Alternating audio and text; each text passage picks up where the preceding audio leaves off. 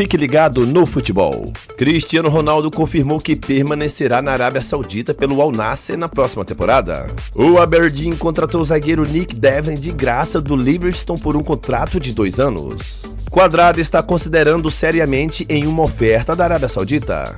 O Corinthians fechou o contrato com o meia paraguaio Matias Rojas. O jogador é o primeiro reforço do clube para o segundo semestre. Enquanto prioriza Alan, Flamengo analisa alternativas de volantes e Santiago Eize é oferecido. Rubro-negros fizeram proposta de 7 milhões de euros por 80% do meio-campista, mas o Atlético Mineiro só aceita vender os 90% que detém. Os Rangers estão avançando nas negociações para contratar Jack Butler como novo novo goleiro em transferência gratuita do Manchester United.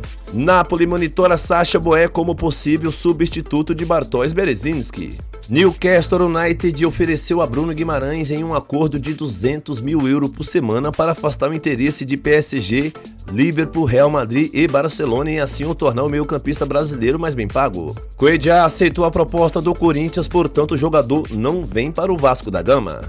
Bahia e Vasco têm interesse na contratação de Gilberto.